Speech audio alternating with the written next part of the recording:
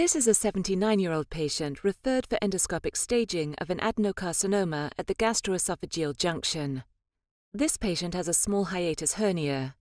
The tumor measures 20 millimeters in the maximal diameter and is located 1 centimeter proximal of the cardia. In patients with small hernias, complete visualization and evaluation of this location is often difficult in the prograde position of the endoscope.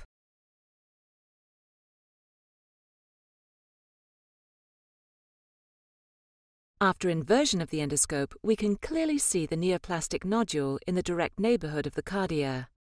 Tumors like this, which have centers within 5 centimeters of and extend to the gastroesophageal junction, are classified as esophageal carcinoma, while other tumors that have their centers more than 5 centimeters distal of the gastroesophageal junction are classified as gastric carcinoma. According to the Siewert classification, this is a type 2 tumor, classified as true carcinoma of the gastric cardia, arising from the cardiac epithelium or short segments with intestinal metaplasia at the gastroesophageal junction.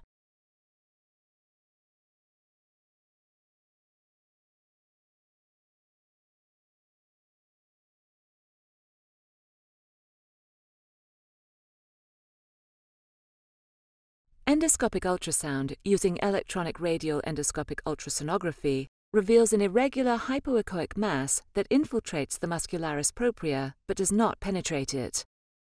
This invasion depth is classified as a T2 tumor.